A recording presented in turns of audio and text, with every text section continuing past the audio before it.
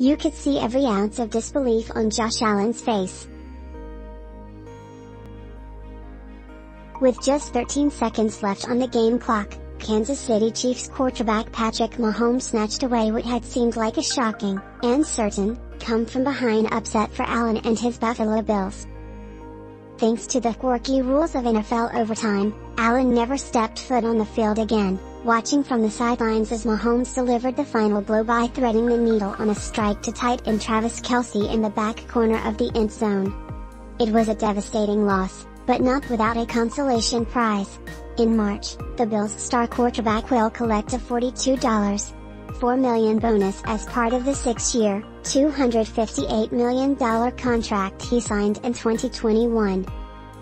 It was the second largest pact in NFL history, according to Spotrac, trailing only Mahomes' 10-year, $450 million mega deal from 2020.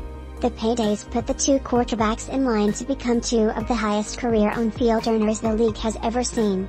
For almost 15 years, the Tom Brady-Peyton Manning tug-of-war dominated primetime, delivering some of the most highly anticipated matchups the league had to offer. Their star power, and success, gave them the leverage to strike massive deals as the league pivoted the sport more toward passing.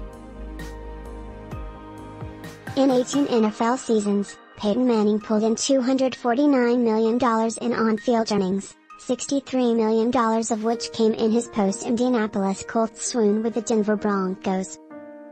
Brady, through 22 seasons, has $293 million on the field under his belt, with just above $25 million on the books for next year if he chooses to return.